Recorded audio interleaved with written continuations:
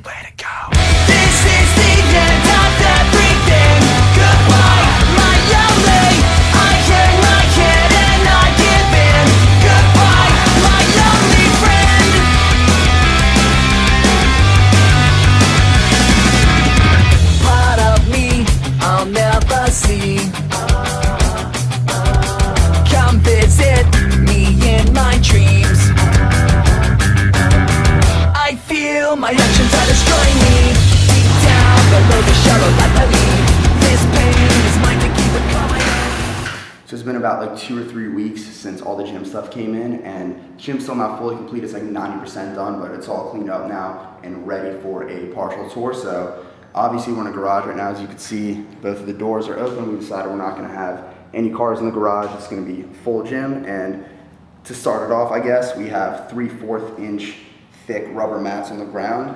So that's nice. Soundproof, not soundproof, but they're really good mats. But yeah, we have a Rogue squat rack right here, more like a power rack. We have the adjustable strap spotter arms, and we have two spotter arms on the floor that you can just set in here to kind of extend it out. And this is a Rogue power bar, very stiff bar, really sharp knurling. And over here in the corner we have the Texas deadlift bar, and whoo, the thing's brand new. It's one full of whips, whips beautifully.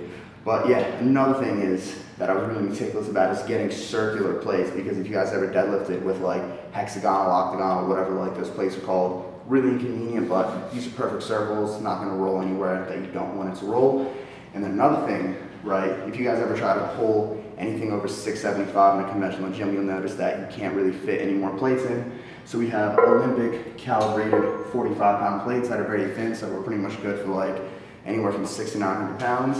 So this is this corner, the squat rack, and then here's another squat rack. This is the old one from my mom's house. This is gonna be clipped, and I'll tell you what else is gonna be in here, but just temporarily occupying space, and then you see the two dip attachments on the floor, and here we have dumbbells from 5 to 125 pounds, and these are my favorite cone because just this specific shape and form of dumbbell is just my preference. So it's kind of creepy to have a dumbbell preference, but yeah, that's what it is. And we have extra room on the bottom for when we get super jacked. We can get the 150s. And as you guys know, the notorious fat pad that of course is welcomed in this gym. And that's from Rogue. And this bench, that's also from Rogue. It's an adjustable bench, but just take a guess right now how much it costs. Just take a guess. You got that number in your mind? Wrong. Too low. This was $800. Can you believe that? Like it's hands down the best bench I've ever used, but $800 is just that's an absurd amount to pay for a bench. And then you have the same thing in Shady Dick Sporting Goods form. That's like one one thousandth of the price, but that's gonna be clipped. Um, yeah, we have a spotter, not a spotter, we have a plate tree, holds all the old school bumper plates and other plates. And this demon right here that fell on Jonah's face when we were unboxing it from the UPS freight is a standalone lat pull down, also from Rogue. Pretty much everything in here is from Rogue, and this was like a bitch to bring in. We needed like five people and like an hour of just slowly shimmying it in because the weight distribution is all off and funky. But eventually we got it set up. It's really nice. Here, here you obviously do the lat pull downs or put the attachment, do triceps, shit like that. Then you have the seated cable row on the bottom. So you pretty much just put your feet here and then row, sit on the ground or like put an elevate, elevation dumbbell or whatever to sit higher. But that's kind of cool. So it's a two in one. It's really smooth. I'm a big fan of that. This right here, if you guys deadlift, you know what this is. This is just a plate loader and I suggest that pretty much all gyms should have this, but a lot of them don't, and a lot of gyms also don't do a lot of things right. So hmm. if your gym doesn't have this, there's a cool little thing called the Genesis Jack that my friend Steve Clevin made. I'll tell you guys about that later. But yeah, deadlift bar loader, and then this basket right here is just a bunch of miscellaneous stuff, different attachments, knee sleeve straps, bands, slingshots, all that funky stuff along with foam rollers. And yeah, pretty much the last thing is the Olympic chalk bucket bowl. That's beautiful. You can also hold your plates. There's a nice little cherry on top. So what the gym is gonna look like when it's fully complete is basically, there's just gonna be mirrors all along this wall right here, and then all along that wall. And then we're gonna get rid of the squat rack here. There's gonna be a treadmill here instead, and then to the left of the treadmill right here is gonna be a hybrid uh, hamstring curl quad extension machine. And that's gonna be that side. And over here in the middle, we're gonna have a glute ham raise. And in the corner, there's gonna be a cable fly, like apparatus for like a chest. And once we change the temperature of the lights and make them brighter, after that, the gym's pretty much completely set. So yeah, there's the gym tour. And in terms of the house tour, I'm gonna show you guys that when I come back from Dublin, because I'm leaving for Dublin in about five days or something. There's gonna be a Gymshark event there. It's gonna be the biggest one that Gymshark's ever had, according to what I'm told. So yeah, if you guys are in Ireland or Dublin, definitely stop by. I think it's gonna take place on the 22nd. And while I'm talking about Gymshark, there's a 50% sale, like their birthday sale, because it's celebration of the sixth year of their company. And the sale ends tomorrow at 3 p.m. Eastern time, so I plan to release this video tonight.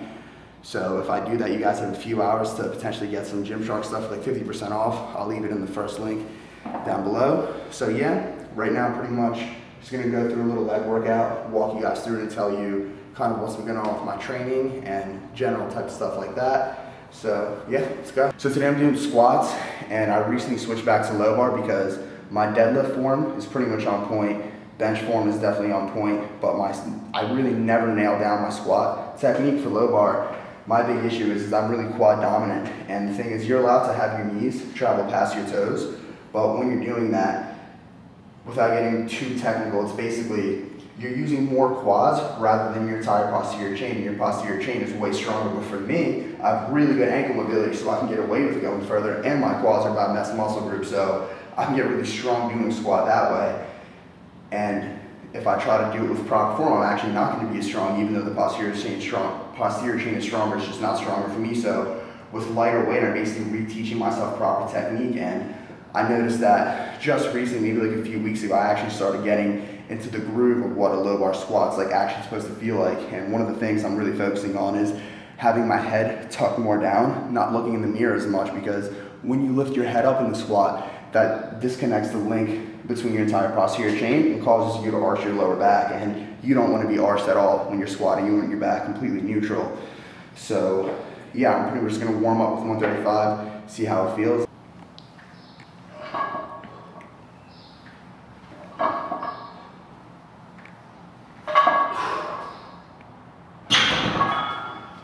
So another thing that I'm focusing on is when I drop down into the squat, spreading my knees open, right, and sitting down rather than just going like that how I normally do. So that way, that reduces knee travel and really makes me sit into the hole in a proper tight manner. And I'm also trying to not go ATG. So for the first time, for the first time in my life, I'm actually having problems not going too depth on squat because I just want to hit just where the right depth is. So when I go back into heavy powerlifting training, that I'll have like the most optimal energy efficient technique. So that's something that I'm trying to do. And also when I'm coming up, trying to resist having my knees collapse because that engages my quads again more, which is an old bad habit of mine considering that I want to fix my technique. So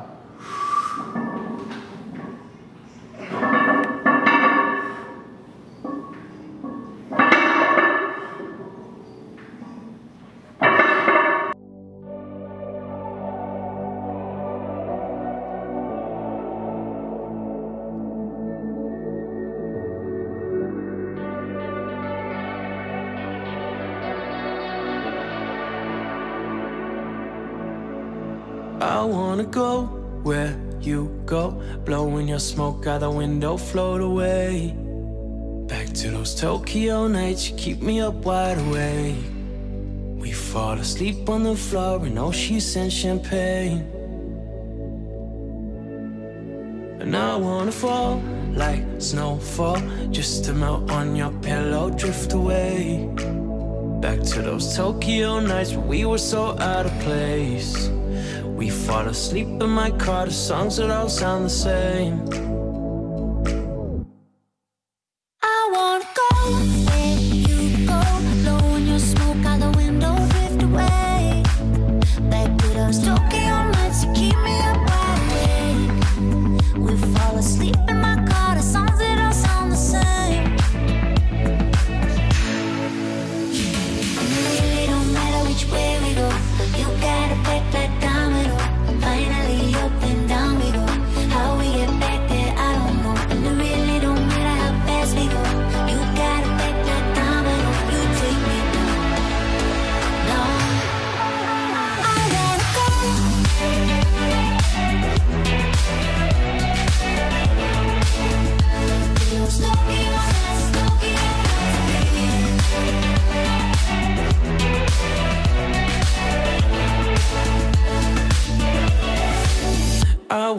Fall like we fell for the first time in the hotel, missed the way. We fell asleep in our clothes, but you were too shy to stay. Walking you home, it still feels like it was just yesterday. It really don't matter which way we go. You got effect like domino. Finally up and down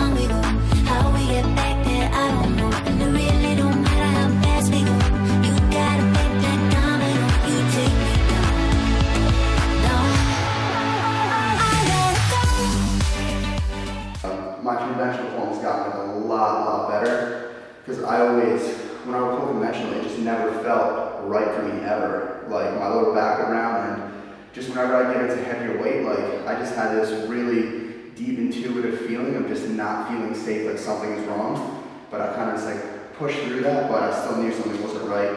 So that was like one of my big motivations for originally switching to sumo because when I first started working out, I did a conventional. But yeah, my sumo was completely on point for a while, and just recently, I'm like starting to actually get like the right feel of how conventional is supposed to feel like. And that's for a few reasons. One is that I'm actually working on my form in a specific way, which I'll show you guys. in two, I've been actually pulling without a belt because when you're deadlifting with a belt, it's actually less erector activation and more abdominal. So when you take the belt off, you get a lot more erector activation. So my erectors actually got stronger too, which obviously helps my spine stay not rounded. But anyway, so what I'm doing now is I basically, I try to, before I would maybe be here, now I'm really having my shoulders start right over the bar and I just feel my setup.